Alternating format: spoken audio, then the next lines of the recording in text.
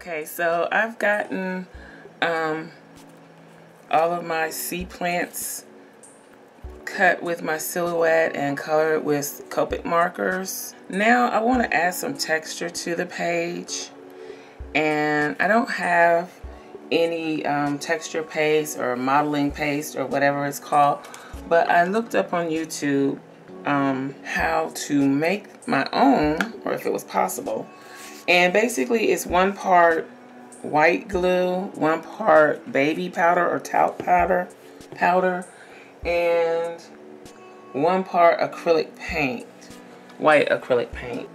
Okay, so I'm gonna try this. Let me turn the fan off if you don't want powder blowing everywhere. I'm not working at my desk. I'm working on a little uh, TV dinner or dinner tray table, I guess. Um, so one part, one part, one part. I, I saw some recipes where it was a half of a part of something, but I'm not gonna do that. Let's try the the, the most prevalent recipe. Oof, was one part um, of each product. So, say that's about equal. And this is some old glue that I had that I haven't used in a while. So I figured this would be a good way to use it up. Oops. Okay, I think that's enough. That. And I need something to stir it with.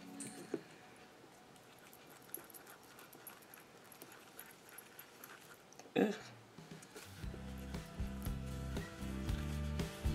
And to me, that is a little thick.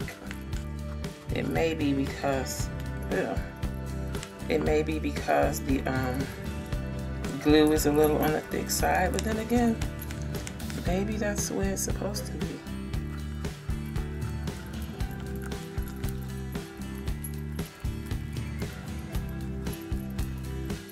So, yeah. So I'm gonna leave it like that for now. And I have to run off for a sec and I'll be back. Seal it in this little container. And I picked up these containers at Dollar Tree. Think it's five or six of them in a pack for a dollar. Okay,